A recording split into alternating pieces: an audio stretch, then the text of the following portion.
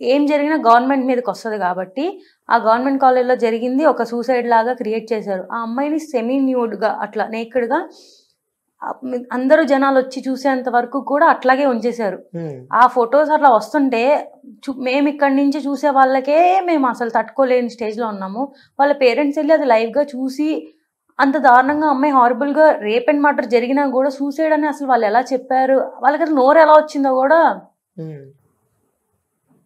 అంటే ఈ ఘటనను చూస్తూ ఉంటే ఏమనిపిస్తుండే యాజ్ అ డాక్టర్గా యాజ్ అ డెంటిస్ట్గా ఏమనిపిస్తుంటే ఒక అమ్మాయిగా?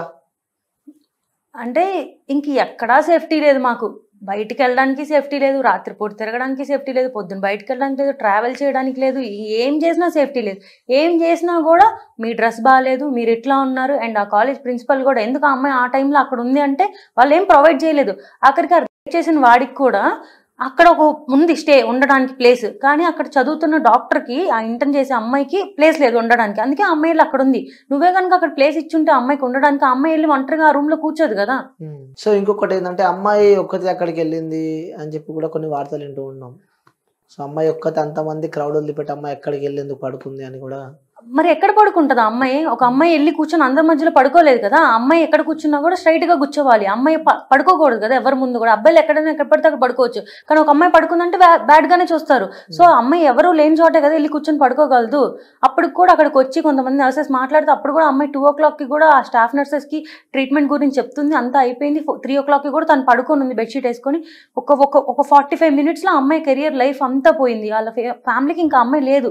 ఎంత కష్టపడితే వస్తుందో గవర్నమెంట్ కాలేజ్లో సీట్ నీట్ ఎంత కష్టపడి క్రాక్ చేస్తే వస్తుందంటే ప్రైవేట్ కాలేజ్లో కూడా ఫీజులు కట్టి జాయిన్ అవుతారు కానీ ఒక గవర్నమెంట్ కాలేజ్లో సీట్ తెచ్చుకోవాలంటే అమ్మాయి ఎన్నో డేస్ కష్టపడి కష్టపడి కష్టపడి కష్టపడి థర్టీ వన్ ఇయర్స్ అయినా అమ్మాయి ఇంకా చదువుకుంటానే ఉంది. ఇంకా సంపాదించడం కూడా స్టార్ట్ చేయాల.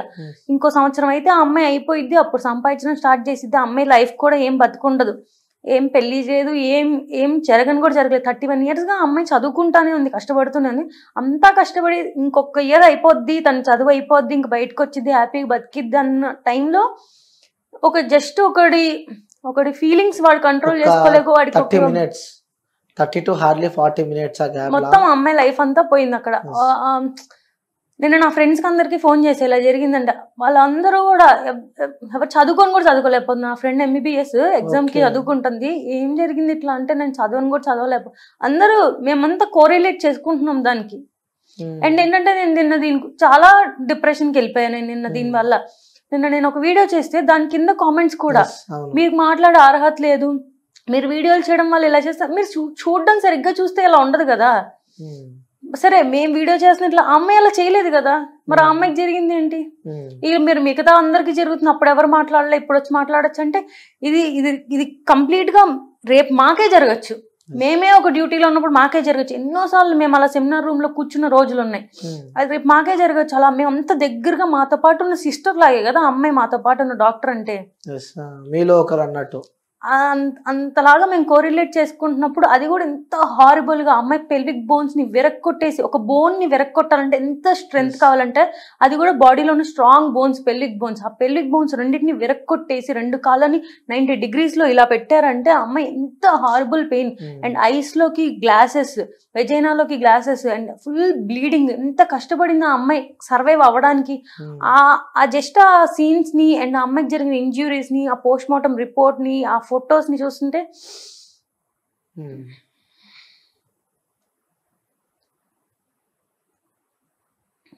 అంటే అదే అంటే అదే ఫీల్డ్లో మీరు ఉన్నారు కాబట్టి సో ఇమాజినేషన్ చేసుకోలేకపోతున్నారు రైట్ సరే ఇది పక్కన పెడితే సో మీరు ఇప్పుడే చెప్పారు ఇన్స్టాగ్రామ్లో మీరు ఒక రీల్ అప్లోడ్ చేశారు అని చెప్పి దాని కింద కామెంట్స్ కూడా చాలా నెగిటివ్ వచ్చినాయి మీకు. నువ్వు పాజిటివ్గా నెగిటివ్ అందరు అబ్బాయిలు చేశారని అసలు ఎవ్వరూ చెప్పరు. Not all men but. Men అబ్బాయిలే కదా చేస్తుంది కానీ అందరూ కాదు.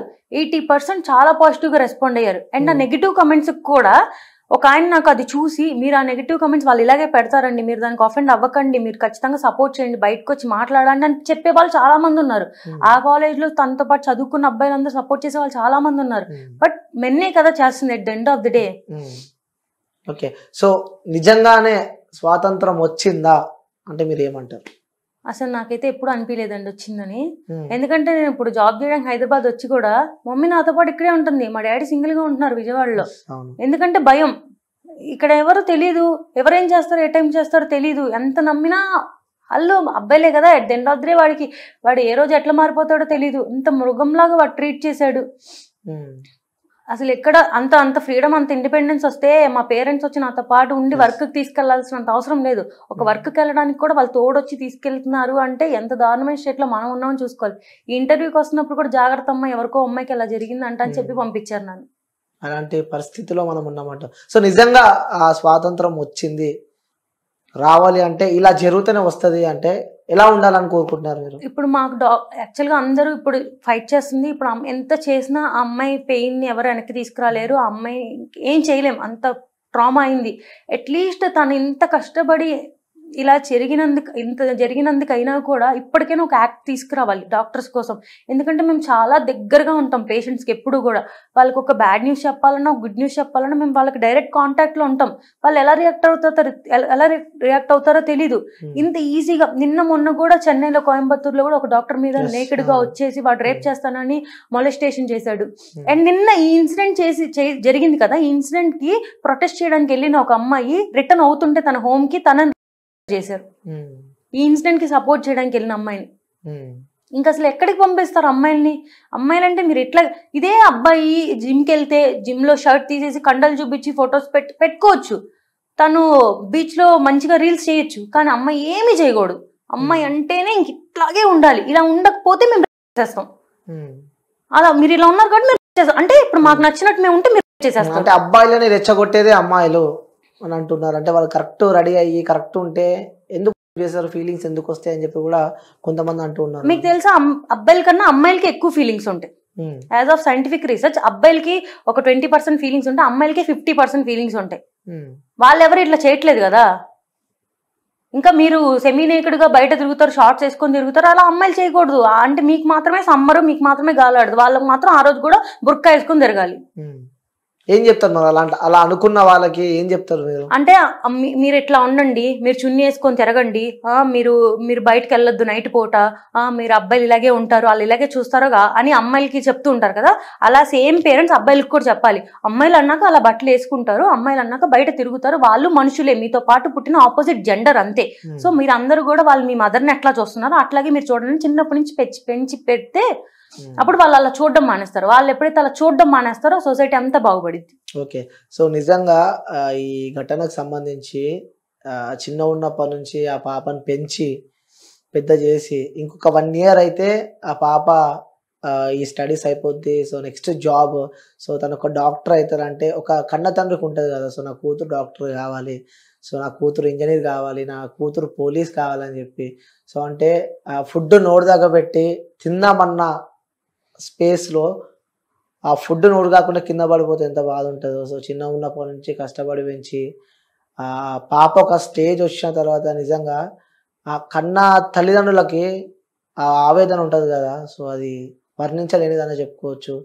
సో ఆ పేరెంట్స్ని చూస్తూ ఉంటే నిజంగా ఫస్ట్ వాళ్ళ నాన్నని తీసుకెళ్ళి బాడీ ఆ డెడ్ బాడీ చూపిస్తే నిజంగా. ఎలా అసలు డైజెస్ట్ చేసుకోగలడా? ఎందుకంటే ఒక అమ్మాయి అమ్మాయికి అమ్మ బాండింగ్ కన్నా నాన్న బాండింగ్ ఇంకా ఎక్కువ ఉంటుంది.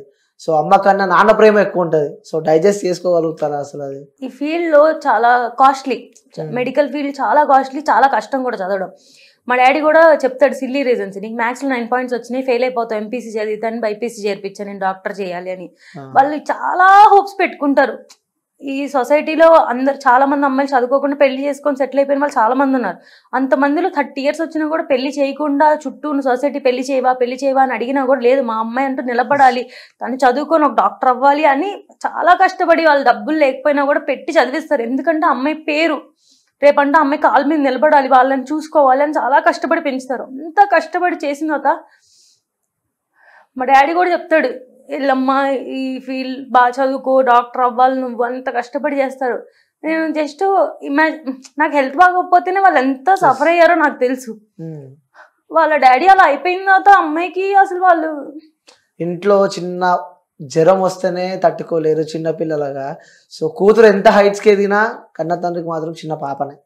సో ఫీవర్ వచ్చినా తట్టుకోలేని ఆ తండ్రి నిజంగా ఆ తండ్రిని తలుచుకుంటుంటే అసలు లిటరల్లీ సో మనకే అసలు అంత అర్థం జరిగి వాళ్ళు అంత బాధలో ఉన్నా కూడా ఇంకా అమ్మాయి తప్పని చెప్పిన మాటలు వింటుంటే ఇంకా యానిమల్ బిహేవియర్ చూపిస్తున్నారు ఇంకా కొంతమంది మనుషులు.